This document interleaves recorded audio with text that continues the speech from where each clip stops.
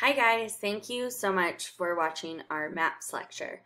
One of the big things that we cover in geography is maps. And I don't know if you know this, but there are three different kinds of maps that we are going to study. So if you are taking notes, I want you to write down all the times you have used a map before. Think Google Maps, Apple Maps. If you have Snapchat, there's Snapchat maps. There's maps in video games. I bet you have used a map more than you actually think. So in history and geography, there are three main types of maps we will be using. Political, physical, and thematic. The first map we're going to look at is a political map. A political map shows the borders of cities, countries, states, and continents. Here's an example of a political map.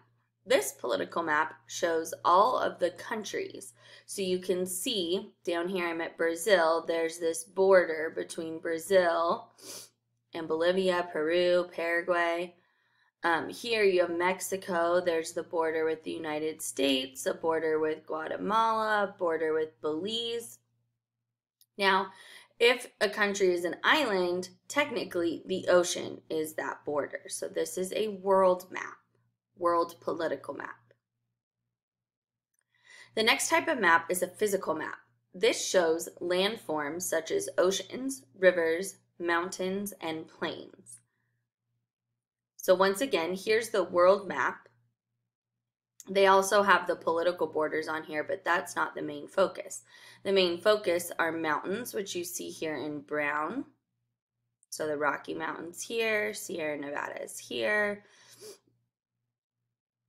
um, the Andes here. Um, green is like a lush area. So this is near the Amazon River. The yellow area is a plains area. So we have those in the middle of the United States. They have them in Brazil. You can see them in Russia, and you can see all the mountains in China, the mountains in, in South Southern Africa and East Africa. Um, so this is what a political map looks like. If you zoom in on these countries, you would also be able to see the rivers. You can see the Great Lakes here. You see all the oceans labeled. So this is a political, or sorry, a physical map. It shows landforms like mountains, um, rivers, plains, etc. Now a thematic map, this is wrong. This is not a thematic map. A thematic map does not show the border, borders of cities, countries, states, and continents.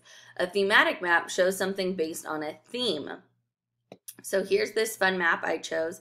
It shows the most iconic chain from every state. So in Nevada, it's PT's, California, In-N-Out, Cold Stone in Arizona, Whataburger in um, Texas, Starbucks for Washington. So a thematic map doesn't necessarily have to do with geography, but it can do with geography. This thematic map is showing food.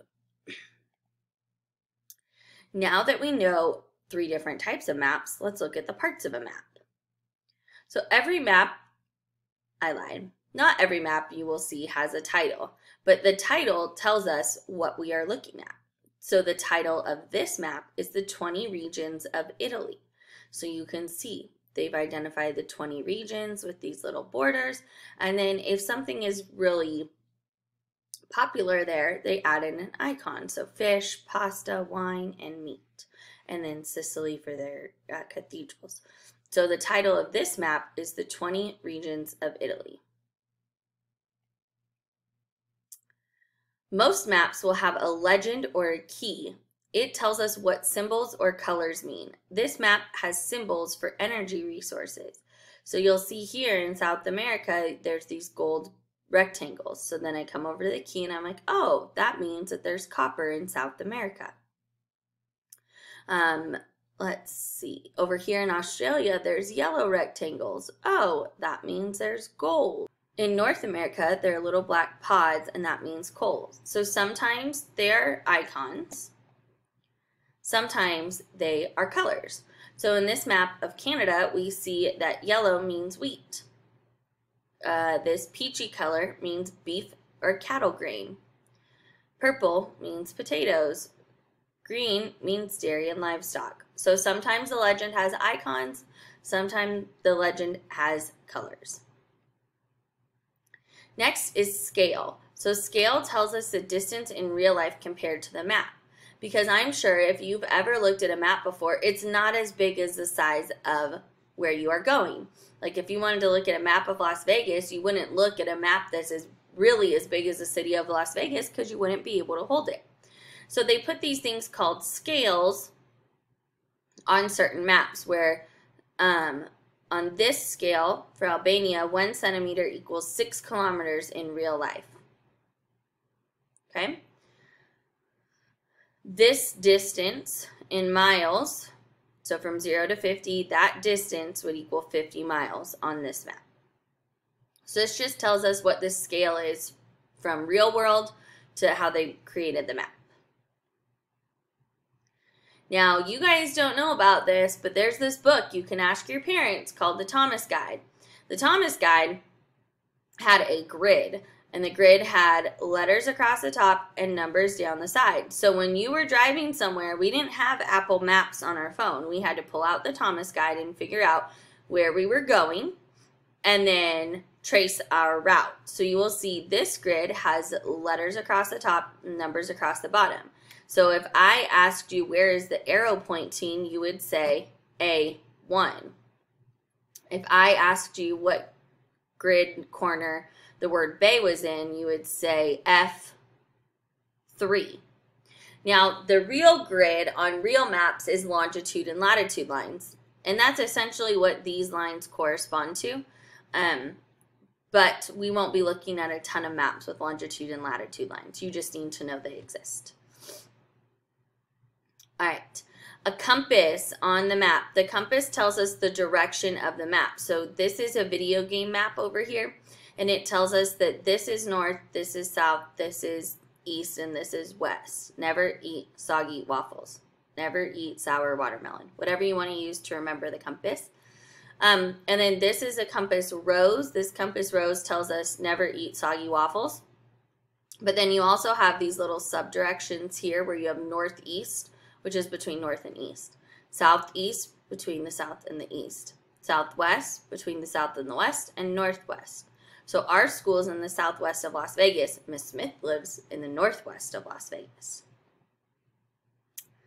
All right, so for each map, I'm going to show you. I want you to write down the type of map, the title, the key if there's icons, colors, or other, a scale if there is one, a grid if there is one, and a compass if there is one.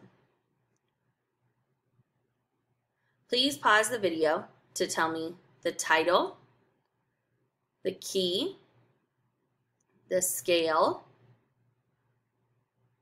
if there's a compass, if there's a grid, and lastly, what type of map this is. Please pause the video and write down the type of map this is, the title, if there's a key, if there's a scale, if there's a legend, and if there's a compass, and if there's a grid.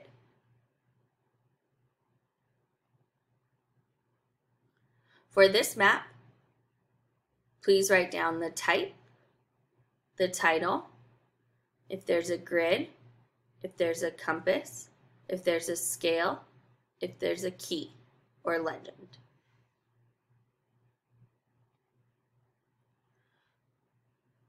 For this map, please write down the type, the title, scale, legend, grid,